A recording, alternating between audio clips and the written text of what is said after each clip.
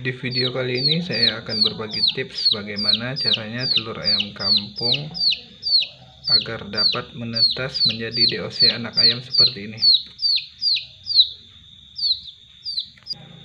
Sebelum lanjut, jangan lupa like, komen, dan subscribe. Langkah pertama yaitu teman-teman harus menyediakan telur ayam yang fertil ya teman-teman Fertil di sini maksudnya adalah telur yang dibuahi oleh pejantan. Untuk lebih lengkapnya teman-teman bisa melihat video saya yang sebelumnya.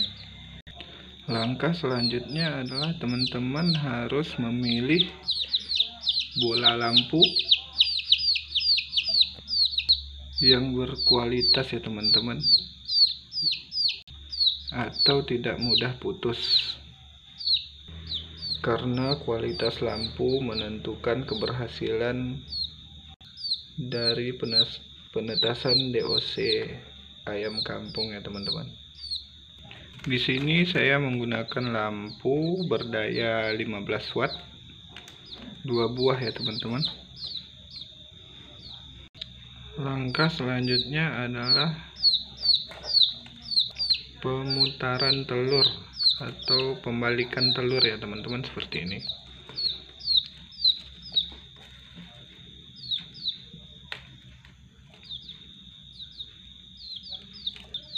Proses ini minimal harus teman lakukan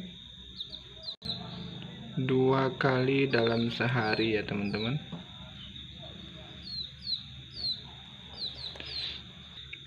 Proses ini sangat menentukan keberhasilan telur yang kita tetaskan. Oke, saya akan memutar semua telurnya dulu.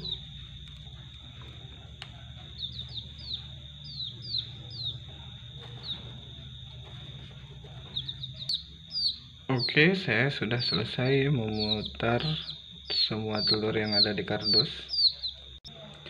Di sini saya menggunakan inisial M dan S. Yaitu M untuk malam dan S untuk siang ya, teman-teman.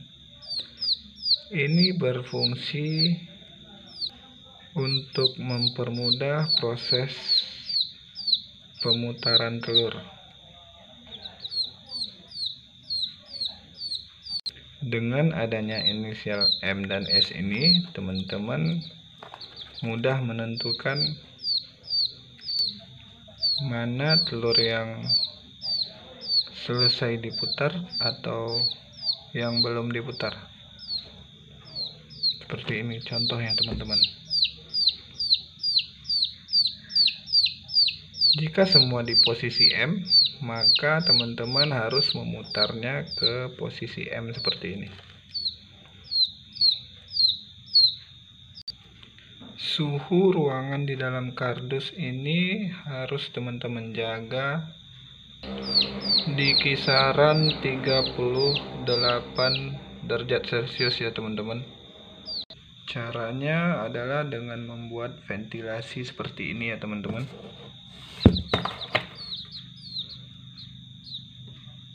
Dan bisa ditutup pada siang hari biasanya lubang ventilasi akan saya buka. Dan pada malam hari biasanya lubang ini akan saya tutup ya teman-teman. Langkah terpenting selanjutnya adalah jika anak ayam atau DOC ayam teman-teman sudah menetas seperti ini maka kita akan segera pindahkan ke tempat pembesaran. Agar tidak mengganggu proses penetasan telur. Di penetasan saya ini saya tidak menggunakan air atau pengatur suhu ya teman-teman.